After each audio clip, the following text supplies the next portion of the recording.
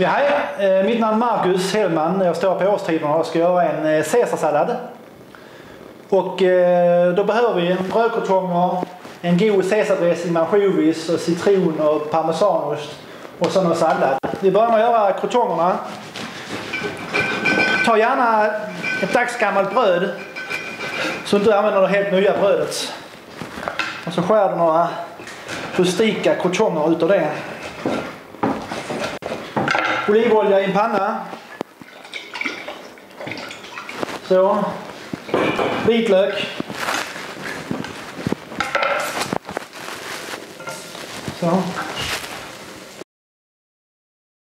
Så. Perfekt. Ta lite rosmarin. Ja, som en enkel kvist ner i. Och så i med våra brödkartonger. Och så kommer vi salt och peppar på. Så kan det stå här och mysa medan göra gör dressingen och sköljer salladen.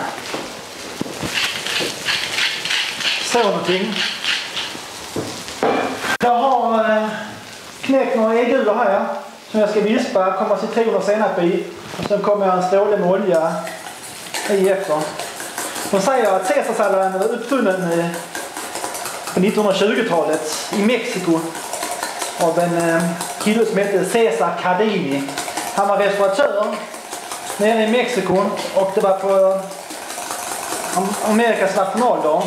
Han hade jättemycket att göra och till slut hade han inte mer matvaror hemma så han kom på jag tar det jag har här och så gör jag en sallad av det. Och då blir det caesarsalladen.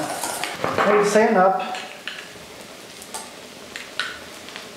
Så. Och sen salt. Så ja. Perfekt. Lite citron i. Så.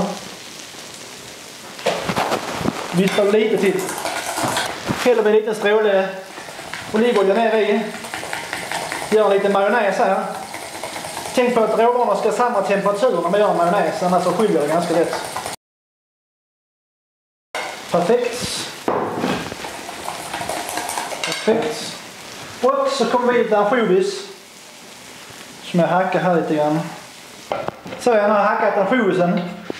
I dressingen.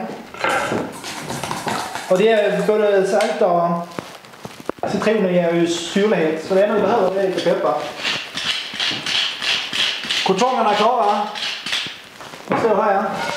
Perfekt. De är spröda. Kan ni höra? Lite mer salt tål de. Så. Jag har sköljt lite sallad.